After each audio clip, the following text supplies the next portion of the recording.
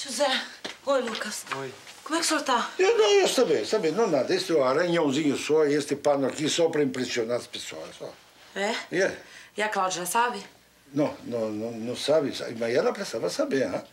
Eu acho. Eu até achava que o senhor Luca podia falar para ela, não? Não, José. Eu não quero mais falar com a Cláudia. Desculpa. Tá bom. Então nós vamos e fala com Dona Cláudia, hein? Tá bom. Vamos? Vamos. José, o senhor pode sair de casa assim? Claro que pode. Levou tiro no ombro, não foi na perna. Hã? Tá resolvido. Nós vamos, pronto. Tá bom. O senhor podia ter morrido, José. Eu tenho santo forte, é. Não, agora eu vou falar uma coisa. Esse, esse Geraldo é barra pesada mesmo, hein? É, ele é. Mas isso eu já sabia há muito tempo. Tá aí. Esse aí é o verdadeiro Geraldo. Eu sempre quis dizer, eu sempre quis advertir vocês, mas vocês não acreditavam. Ele deixou a cicatriz em mim para ficar a marquinha dele. Agora, deixou essa marca no senhor também. Ele é perigoso, gente. Geraldo não vale o feijão que come.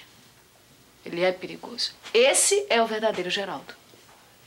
O pior é que a polícia não pegou o Geraldo e ele tá solto por aí. Isso é que é o pior. É, é. Agora, agora você e o Lucas, ô, Cláudia, você e o Lucas vão ter que tomar muito cuidado, viu? Porque ele vai querer pegar vocês dois, claro que vai. E, e Lalesca?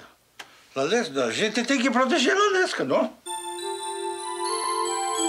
Ainda é madrugada em Paris. Amanhã cedo eu vou ligar para saber de onde é que são esses números de telefone. Paris?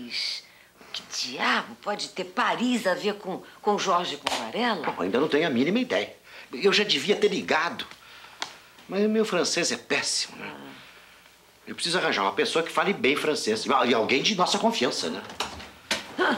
Jorge!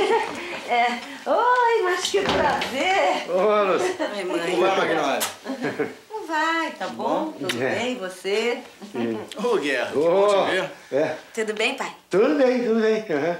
Mas, Guerra, por onde você andou? Oh, tratando de negócios. No interior. Que bom. Eu aposto que você aproveitou a oportunidade para visitar a sua fazenda. Entre outras coisas. É, aceita uma bebida? Não, muito obrigado. Eu vou ficar pouco tempo. É, obrigada. É minha agenda. Muito obrigada. Com licença, boa noite. Não, não. Não, não, quer beber um drinkzinho? Não, não, mesmo. Não, não, nem um esquinho. Não. Então, fiquem à vontade. Que gracinha, eles fazem tudo pra te agradar. Eles te adoram, Jorge. Eu gosto muito deles também. Você não vai poder ficar comigo hoje, né? Não, hoje não. Mas amanhã sem falta. O Guerra mentiu pra mim. Ele esteve no Rio. Um amigo do William viu ele desembarcando no aeroporto, chegando do Rio. O que, que ele teria ido fazer? Falar com a viúva do Varela. Você acha que o dos encontros entre vocês dois? Eu espero que não, Mariana. E se alguma anotação chegar nas mãos do Guerra, a coisa vai complicar muito, sabia?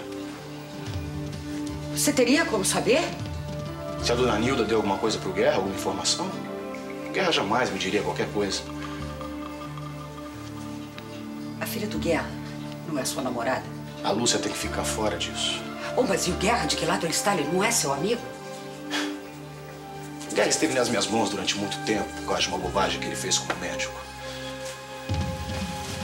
Mas seria maravilhoso pra ele, Mariana. Seria divino pra ele ter alguma arma contra mim.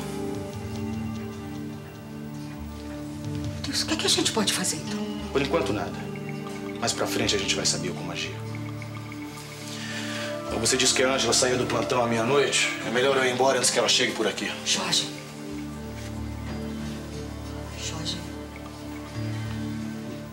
tenho estado muito só. Todas as noites aqui, sozinha. Eu quase não vejo mais você, você anda tão distante de mim. Vem. Vem me ver mais vezes.